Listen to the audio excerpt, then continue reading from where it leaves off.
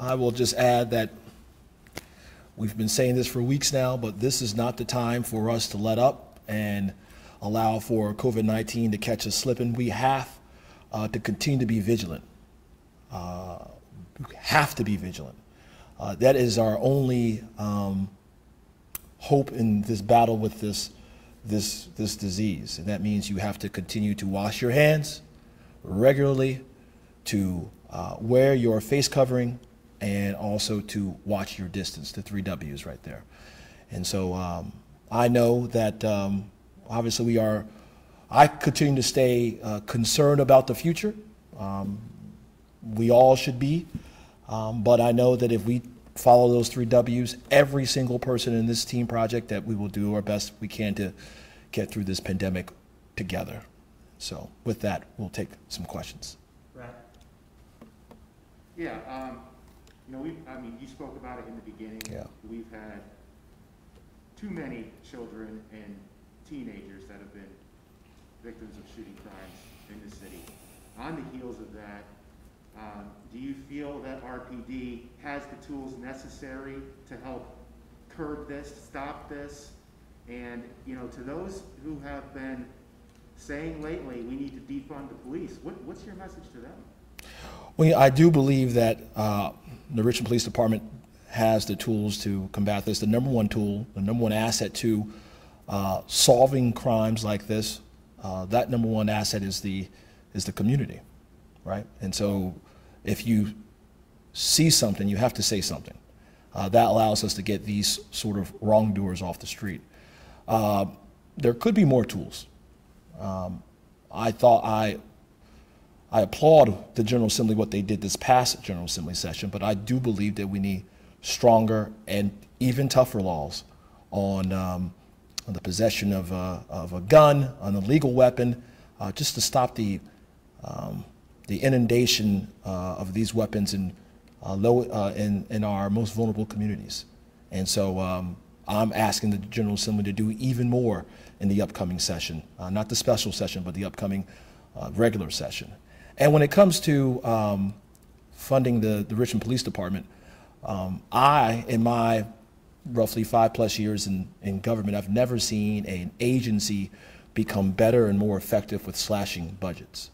Um, here in Richmond, we are going to fund the reforms, the reforms that come out of the work that the, um, uh, the task force on reimagining public safety will do.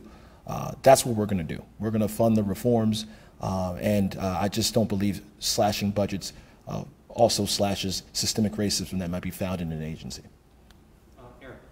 Uh, you started off again with the recent shootings. This, you know, we saw a three-year-old last month. We saw a 15-year-old.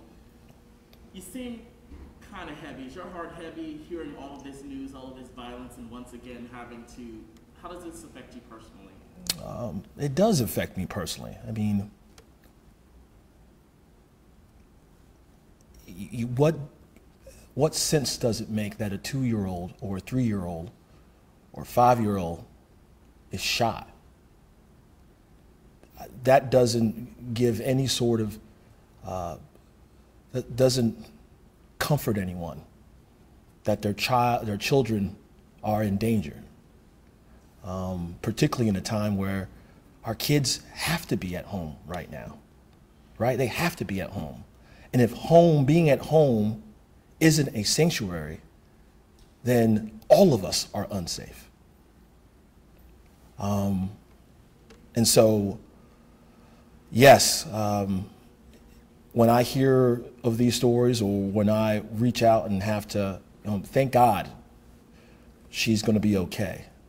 But um, it is, um, it does it doesn't reach deep inside of you and uh, touch places that you know, I've never been touched before in terms of, you know, remember we dealt with the Markiya Dickson uh, um, murder uh, maybe a year or so plus ago, uh, and that uh, touched me deeply, right? You know, a kid being in a park and losing your life, uh, just doing what kids do.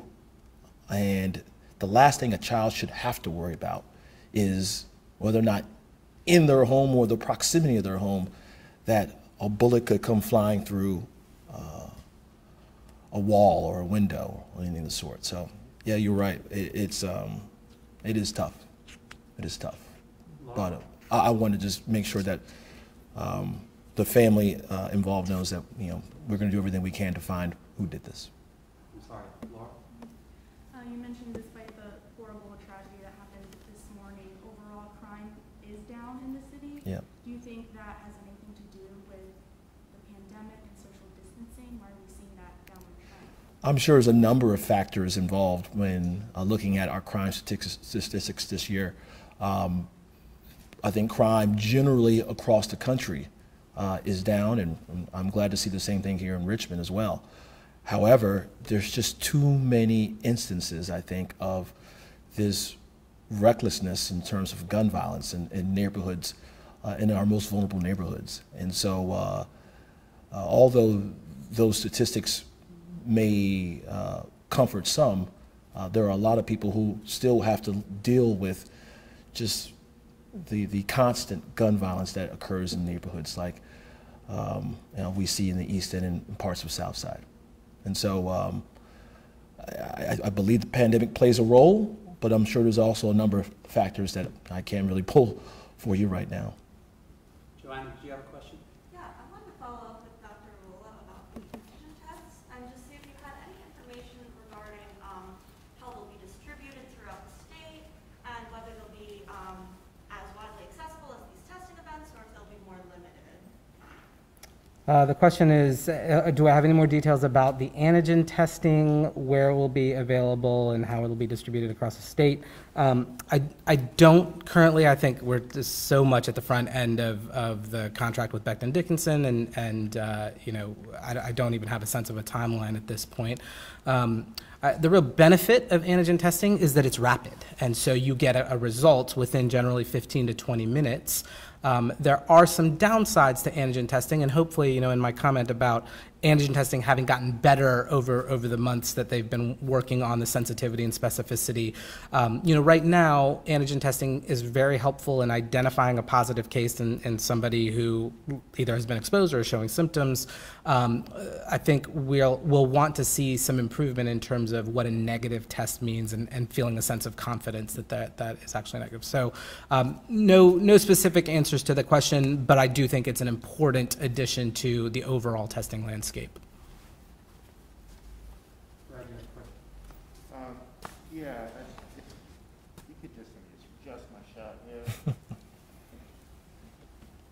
Um, so there's been some uh, criticism toward you recently in terms of, um, your, uh, support of police officers. Um, for instance, there was the, the one that, um, where the car hit the pedestrian, was going through the pedestrians. And if you don't mind, I just want to look back at mine, because this one was sent to me. I want to make sure I get this right. Um, just criticize, criticized uh, publicly for not having the back of Richmond Police Department during the protest, and publicly criticizing officers accused of wrongdoing, but not publicly acknowledging when they have been cleared of wrongdoing. So if you could just respond to that. Um, yeah, as the mayor of the city, it's my job to um, to ensure that we uh, provide public safety to each and every one. And the Richmond Police Department wakes up every day to answer that call, and uh, they do a good job in doing so as well. And they have a record of that. Uh, my job also as the mayor is to ask tough questions too, of all my agencies. And that's exactly what I do for whether it's Parks and Recreation or Public Works or of uh, the Richmond Police Department. And I will continue to do that because uh, it's my job to ask tough questions, but also to uh, hold each department to uh, a high standard, a high standard of expectations. Uh, we, this administration has done that. And um, there are obviously ongoing investigations uh, that still continue, um, whether it's internally or uh, with the Commonwealth's attorney, and those investigations will uh, play this play itself out. And then once we are done with that, there will be accountability. I think that's what the public expects from every Richmond City public employee. Okay, well, thank you very much. Thank you. Appreciate you all coming. Um,